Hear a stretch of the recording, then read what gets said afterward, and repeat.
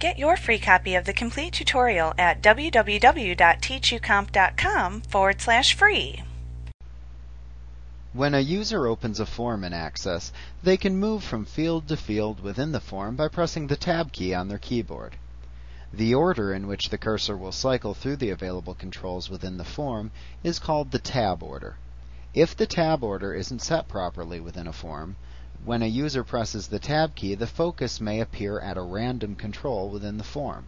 This is extremely aggravating to users, and you can change the tab order of a form to increase the ease of data entry within the form. You can either fix tab order automatically or manually if necessary.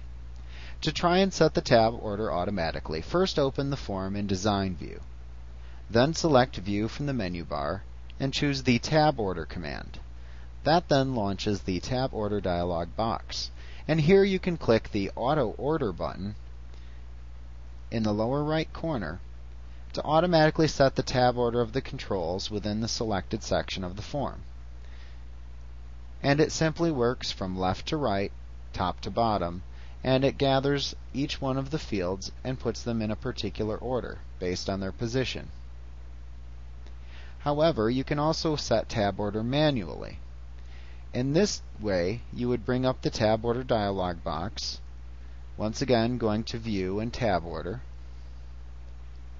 And to actually move them by hand, you click the gray row selector next to the field whose order you would like to change, and then click and drag it into a different position.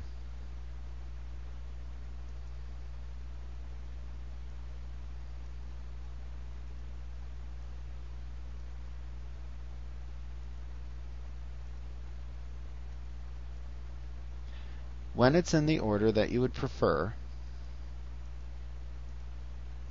simply click OK.